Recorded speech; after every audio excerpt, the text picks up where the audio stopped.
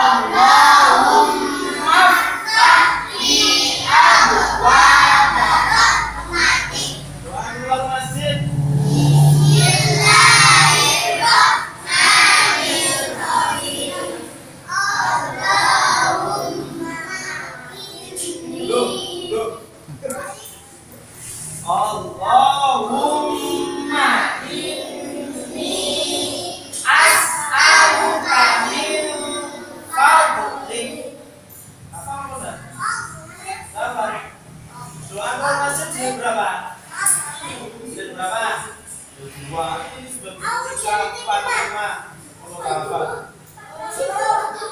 Dan perhatikan.